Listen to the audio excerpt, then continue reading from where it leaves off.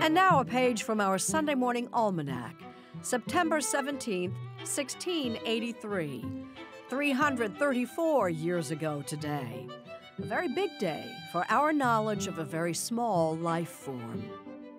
For that was the day Antonie van Leeuwenhoek of Holland wrote to the Royal Society in London to tell them he'd used his homemade microscope to discover tiny organisms in human dental plaque. The Delft University of Technology in Holland has recreated the view through his microscope. Their motion was strong and nimble, he wrote, and they darted themselves through the water. They were bacteria, single celled organisms that live and thrive in virtually any environment on Earth.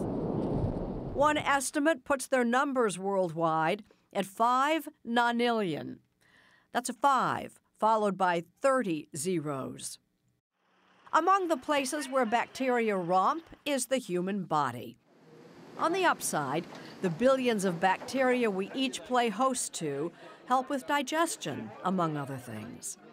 On the downside, of course, they can also cause disease.